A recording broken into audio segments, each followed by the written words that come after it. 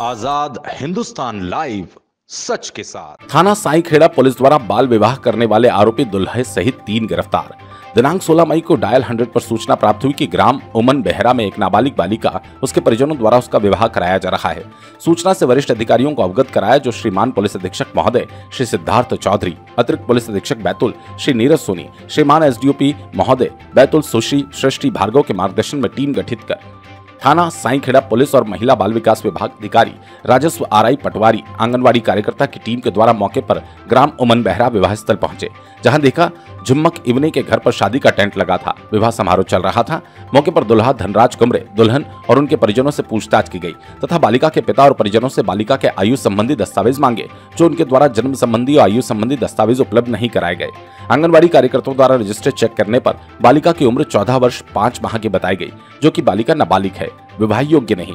नाबालिग बालिका का विवाह नियम विरुद्ध किया गया। प्रभारी महिला बाल विकास अधिकारी मुल्ताई की रिपोर्ट पर थाना साईखेड़ा में अपराध क्रमांक 113 बटे तेईस धारा 9 10 बाल विवाह प्रतिषेध अधिनियम 2006 के तहत अपराध पंजीबद्ध कर विवेचना में लिया।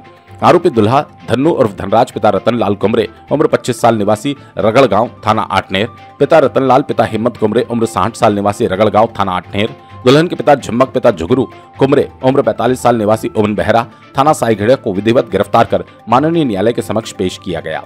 बैतुल से देवीनाथ लोखंडे की रिपोर्ट।